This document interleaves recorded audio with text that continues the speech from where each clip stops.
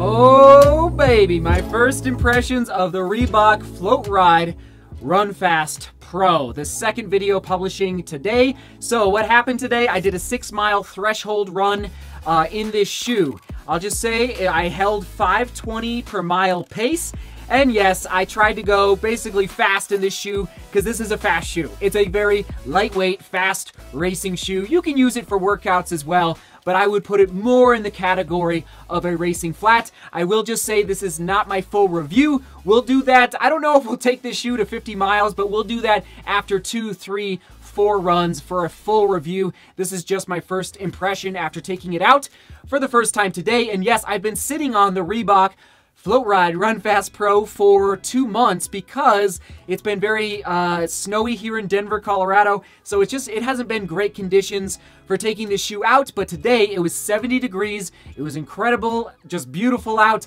And it was the perfect moment to take this guy out. And a little brief history on Reebok. I had no idea this Reebok was founded in Britain. I feel a little bad. Sorry to all the Brits out there.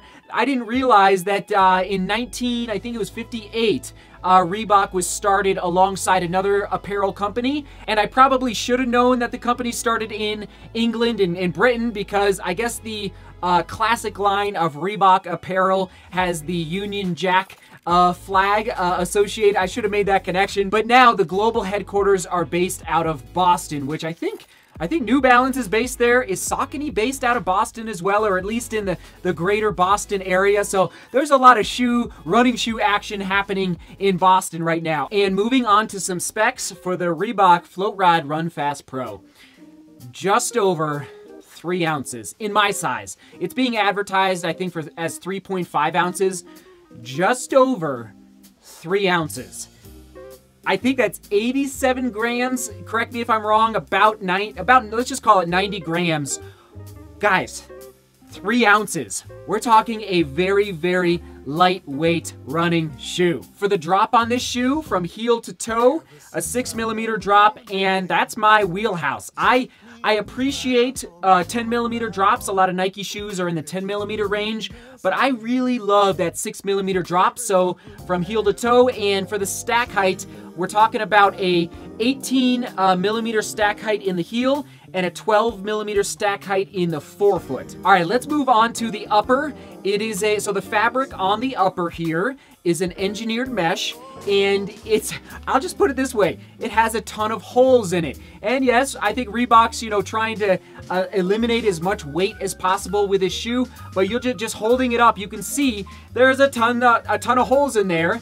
And I think on a really, really hot day, that would be really nice to get some airflow and ventilation uh, through the shoe. So it didn't bother me at all, like having those holes. And I'll just mention also, the tongue is paper thin really thin through the tongue. And again, it looks like it, they took one of those uh, three-hole punches and just put put holes through the tongue there. Uh, it took a little bit of uh, extra effort to get the tongue situated on the top of my foot in order to protect the top of my foot from the lacing system. But it wasn't, um, it wasn't too, it did take too much time, but I did have to pay a little more attention because it is so paper thin uh, through the tongue that it didn't just, it didn't want to just lay flat on the top of my foot. Uh, but no, no major issue there. And let's talk about that midsole real quick.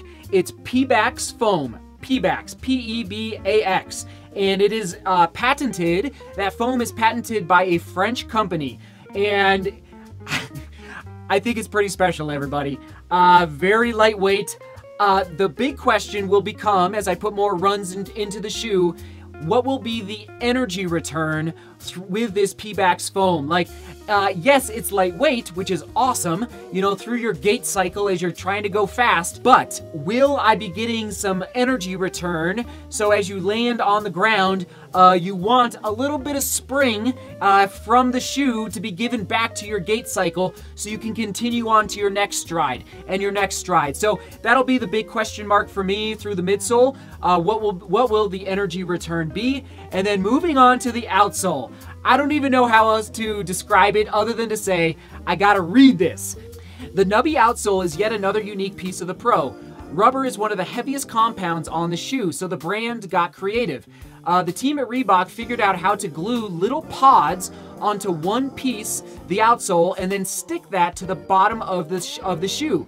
So it's just a 0.75 millimeter piece. Each one of those little nubbies is a little piece of polyurethane molded together and popped on the bottom. Uh, while it looks almost like a golf shoe, and actually, as I was running today, I was thinking to myself, that outsole, it either looks like a tennis shoe, and then I was like, you know what?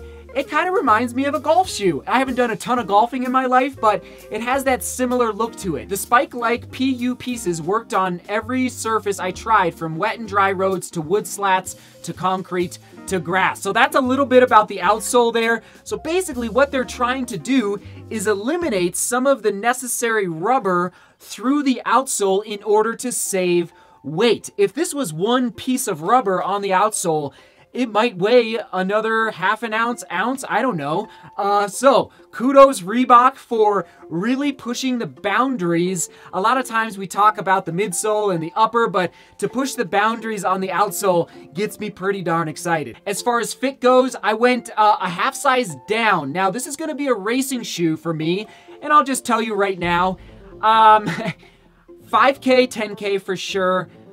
Probably more in the direction of a 5K, okay? Fast 5K shoe. You could race a 10K in it for sure.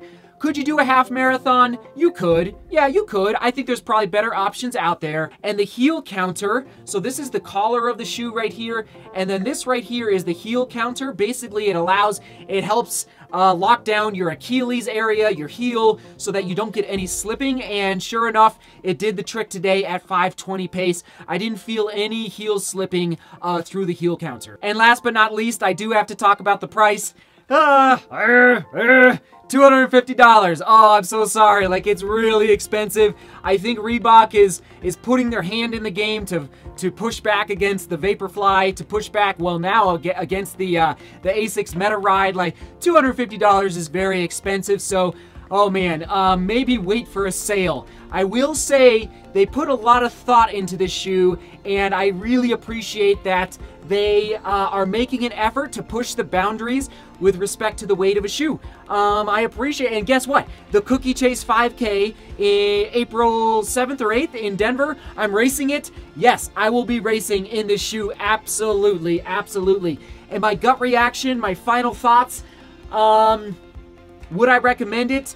Absolutely. At $250, probably not. I managed to find a pair from the UK for $180. Don't ask me what website it was from. I'll have to look it up. If you if you really want to know, I'll do some more research to find it. But anyway, so I paid 180. I know that's still very expensive. Is it a $250 shoe? Probably not. Like that's just too much money. But 180, yeah, now we're starting to talk about something. So I am I'm very excited. I don't know how fast I can run a 5K in right now, but um, I do believe this shoe is going to help me get across the finish line as fast as possible. And the keyword is float for the Floatride Run Fast Pro. And the question of the day, it's actually going to duplicate from the vlog from this morning. And I'm also going to ask one second one in case you already answered that in the first vlog. Basically, uh, are you shooting for a PR in 2019? If so, what distance are you honing in on? Are you dialing into, okay? So that's the first option. Or the second option for the question of the day, how was your run today? What did you do? Where did you go explore? Maybe you did a workout. Maybe you did a long run. Maybe you did, uh, who knows? Maybe you went up into the mountains. So, and there you have it. Okay, I'm going to make a, a request. If you're still watching, thank you for watching this entire video.